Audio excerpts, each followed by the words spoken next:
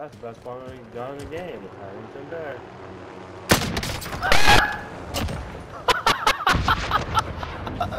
Yeah. Holy shit, dude.